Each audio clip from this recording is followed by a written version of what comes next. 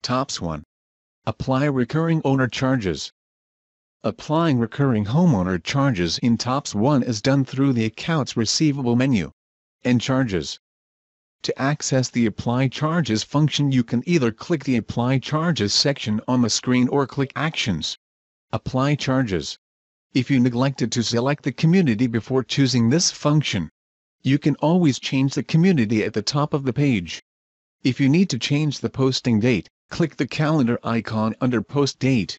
Then choose the correct posting date. The Apply Charges function can also be scheduled. We're not going to schedule this function, so we'll choose this time only. You can also choose which of your recurring charges to apply. Because I'm applying March charges, I'm going to turn off the application of my quarterly special assessment, because it doesn't need to be charged until next month. Once all of our settings have been updated, click Accrue to accrue the charges. We're now given the details of our accrued charges. You can see the charge code and number of homes being charged, along with the total of the charge batch and the associated GL accounts for the charge. Further down, you will see each of the homeowners included in the charge batch.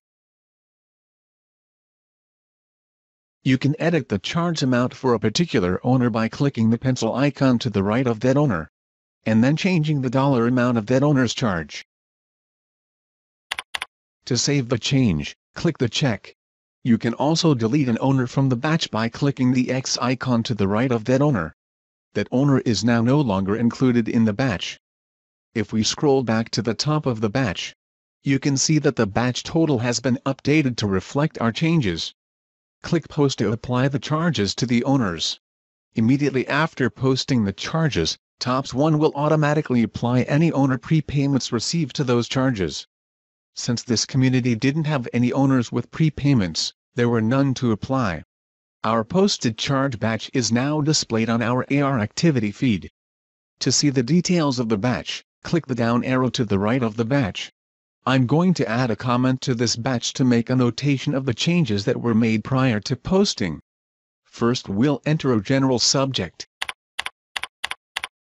and then enter the details.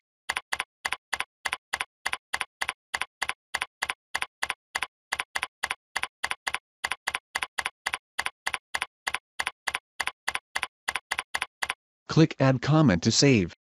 We can view our comment at the bottom of the batch. Clicking the down arrow in the comment section will reveal our comment details. This concludes our TOPS 1 Apply Recurring Homeowner Charges tutorial. Thank you.